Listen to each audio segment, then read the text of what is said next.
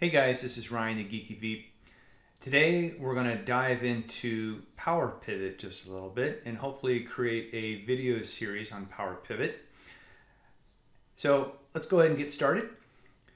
One of the first things I want to show you here is my spreadsheet. I have a sales table with different sales, uh, so many sales every day. I have the date, product name, the region it was sold in, quantity, and the sales amount. Um, and it looks like I have about 46,000 rows worth of information. Okay, easy enough. Uh, and that's something you could probably put into a pivot table. But I also have another table over here to the right. And this is what I would call, it's a fact table or a lookup table. So for example, here I have this Mountain 100 Silver 44 bike. If you come over here, you'll be able to find it and it's only listed once in this table. It tells you what the color is, the subcategory, and it also tells you the category. So it's a mountain bike and in the category of bikes. I have several subcategories and several categories in this fact table. What we're going to do is we're going to create a pivot table using Power Pivot and connect to these two separate tables at the same time. So let me show you two different ways to load your information into Power Pivot. The easiest way is if you click on the Power Pivot uh, ribbon here, the tab, and then just select, click on the Add to Data Model under the Table section here. If you do that,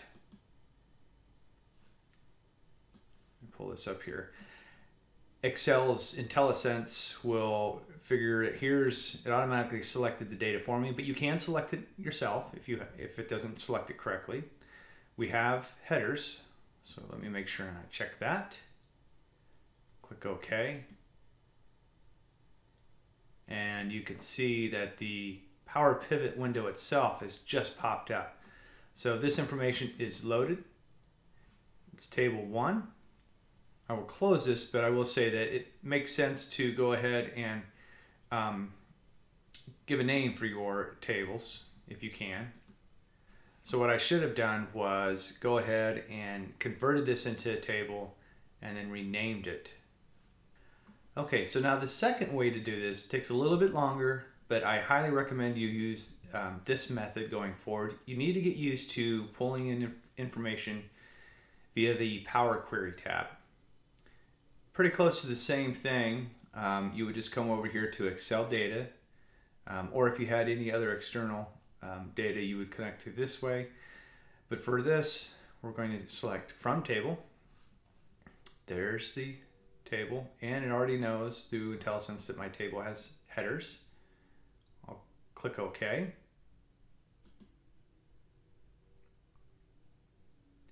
And now we're into the query editor. I'm not going to really edit anything other than let's name the table.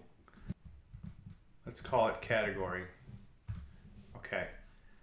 And now when we go to close and load, you have two choices. Sometimes you can just do close and load here, but if you want to load this to your data model, you want to go down to close and load to. And that's where we get this little window here.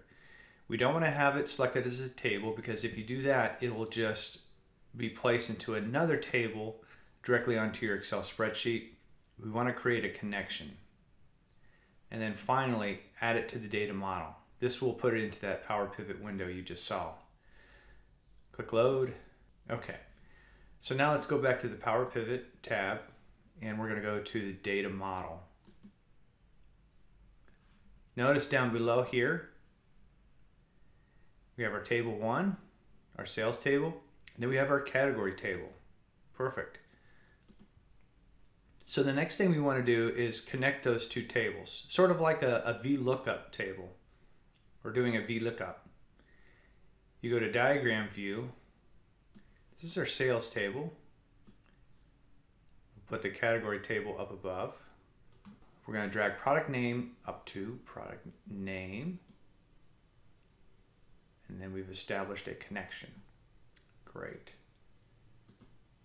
Okay, So we can go ahead and close this window. Now at this point, we have everything loaded into the data model. So I'm going to create a simple pivot table. And if you remember looking at, go back to my pivot table um, videos, we're not going to select from data here in Excel. We're going to actually click on use an external data source. We can uh, browse and, and find tables, but what we want to do is we click over here and this shows us our tables in the data model. Select that, click open. We can put it in the existing worksheet. And now if you come over to the right, in fact, let me rearrange this so you can see it a little bit better. we have our category table. Oh, sales, it did rename it for us, great. And table three, which is, there's another um, table out there, but these are the two tables that I want to use. So I can click on, if I go to sales and I bring like sales amount down to the values, that's great. Um, however, I want to have the category because that is not in my sales table. And there we go. We see accessories, bikes, and clothing in the total dollar amount. So we could have had, um, you know, many tables, a dozen different tables in here, all connected, and um, just very easily put it into a pivot table and there you go.